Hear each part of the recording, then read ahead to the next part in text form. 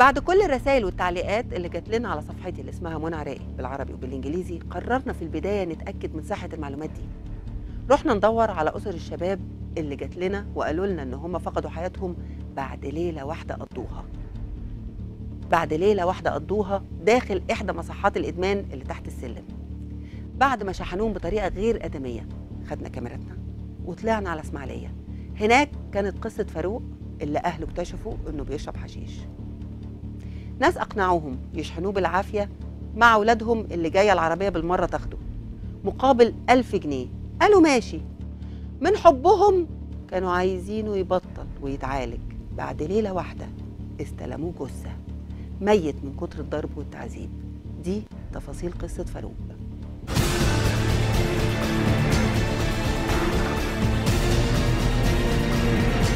هما كانوا جايين بعربية أولا مش مكتوب عليها أصلا اسم مركز ولا أي حاجة. كانوا جايين بعربية اللي هي عاملة زي السوزوكي دي لونها رمادي غامق ومتفيمة. وجاي فيها كذا واحد. كذا واحد دول أول ما نزلوا نزلوا كل واحد معاه شوم وبتاع. فاروق هشام برضه كتفوه ربطوه من ساعة ما عمالين نسألهم إحنا رايحين معاكم فين رايحين معاكم فين؟ بنتضرب ما تتكلمش ما تتكلمش هتعرف أنت رايح فين. وإحنا هم أصلا أخدوهم طاروا.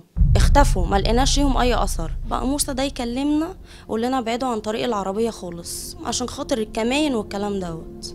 فضلنا ماشيين وراهم. فلما لقينا ال- الزن في الاتصال كتير رحت أنا قلت للسواقي أنت ممكن تعدي العربية بحيث إن إحنا نسبقهم على هناك بحيث إن هم لما يجوا ينزلوا نشوفهم يعني هم داخلين وكده. قابلنا اللي هو ده رئيس المصحة مركز العلاج النفسي والإدمان.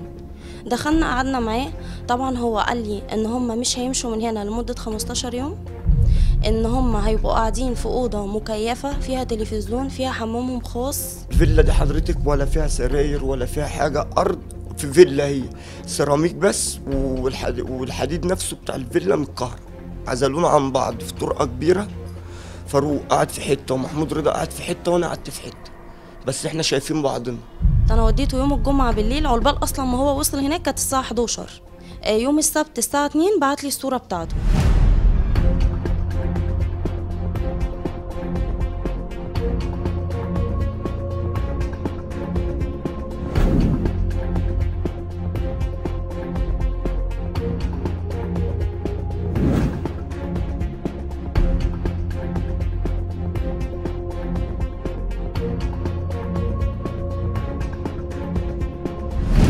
يوم الحد الساعة 9 الصبح لقيته بيتصل بيا ويقول لي هو مات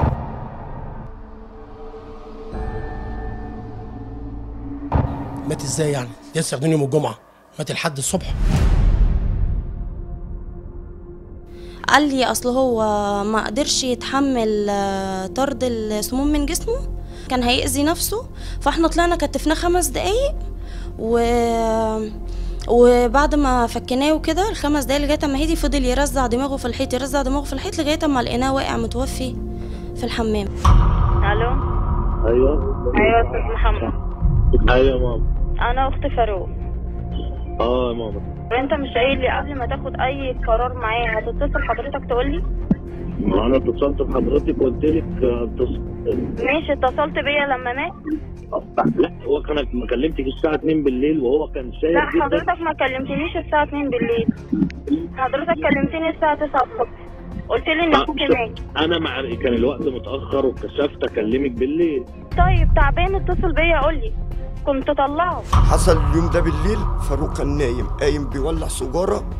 النبطش بتاع العنبر ده شتم بأمه. قال له ليه الشتيمه وبتاع أنا صحيت لقيتهم مسكوا فينا ضربونا. ضربوني أنا وادوني البرشام وقالوا لي أنت ما تتحركش من هنا. طب أنتوا فين؟ هنجي لكم المستشفى طب تاخدوا الجثة مننا طبعا إزاي نستلم الجثة منكم هنستلمه فين؟ قال عنده عند الكارته لقوه مرمي طبعا عند السحر والجمال ورامين جنبه أزايز معرفش إيه وحقن إيه. آه والله وملفوف في بطانية ومرمي. نلمح بعينينا لقينا فاروق مرمي على الأرض. على الأرض متغطي ببطانية. متغطي ببطانية ومرمي رجليه حافي. وملفينه في البطانية وشه بس اللي باين.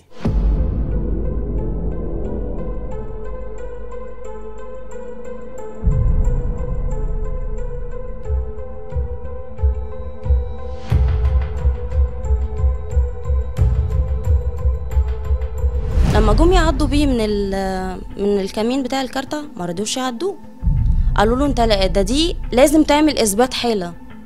لأن هو جاي سنته مكسورة وشه مزرق جسمه كله مزرق ايديه ورجليه متدبحين. مصحة ايدي. الواد اللي معانا قال مش هشيله. إحنا نلف ونبلغ النقطة بتاعت الكارتة. صاحبه بيقول إن هو كان بيصرخ بيقول انقذوني. الحقوني أنا بموت. بيضربوه بيقول لهم أنا بموت. ما كانش فيه رحمة خالص اطلاقا. ضاربينه من الساعة 2 بالليل لغاية 9 الصبح بيضربوا فيه. واحد متكتف من عند إيده كده مقفزينه بالإفزان البلاستيك. القفيز بيتشد ما بيرجعش تاني ده. طبعا ضرب في اللحم غرس في اللحم. معنى كده إن هو متكتف بقاله أكتر من 24 ساعة. كانوا مكتفينه بإفزان؟ وحاطين في في جسمه كده حتة حديدة. كانوا عاملين له شنطة. مكتفينه شنطة وعاملين حديدة في وسطه. كان عمال يتنجى في حد يحوش عليه. وإحنا ما عرفناش نعمل له حاجة. ورجليه زي ما كنا لابس اسوره الدم ضرب فيها.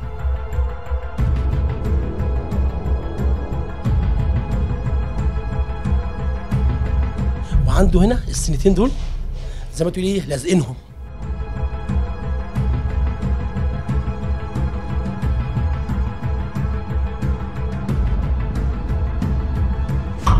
رئيس الراجل دوم دلوقتي اتكتف ايده ورجل من الشيخ في الأول واتضرب من مكوى واتضرب من قلابيزه تمام؟